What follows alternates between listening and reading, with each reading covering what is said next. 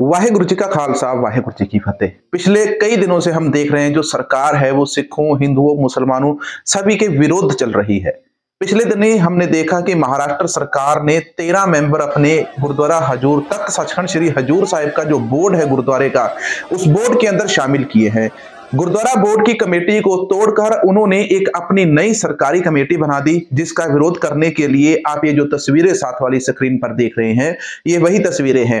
कल तक सचखंड श्री हजूर साहिब में सिख संगत ने भारी संख्या में रोष प्रदर्शन किया सरकार के खिलाफ और सिख संगत ने वहाँ पर कहा कि वह सरकार की किसी भी प्रकार की दखल अंदाजी गुरुद्वारा साहिब के अंदर नहीं जरेंगे। उन्होंने सरकार ने मंदिरों के ऊपर कब्जा किया हुआ है, मंदिरों की गोलक के ऊपर कब्जा किया गया है। इसी प्रकार से अब आने वाले समय में सरकार सिखों के गुरुद्वारे के ऊपर कब्जा करना चाहती है, कभी वह गुरुद्वारा सिसगंज साहिब के पार्किंग वाले मसले को लेकर बोलते हैं। सिख संगत ने सरकार का विरोध करते हुए सरकार के खिलाफ रोष प्रदर्शन किया और उन्होंने कहा कि गुरुद्वारा साहिब के अंदर तख्त सचखंड श्री हजूर साहिब का जो गुरुद्वारा बोर्ड है, उस बोर्ड के अंदर किसी भी सरकारी मेंबर को कोई भी जगह नहीं मिलेगी। दोस्तों सड़क के ऊपर काफ़ी बड़ी तादाद के अंदर आप सिख संगत को देख सकते हैं। तख्त सचखंड श्री हजूर साहिब अबचल नगर में नांदेड़ साहिब के अंदर सिख संगत ने भारी संख्या के अंदर सरकार के खिलाफ रोज मार्च प्रदर्शन किया है।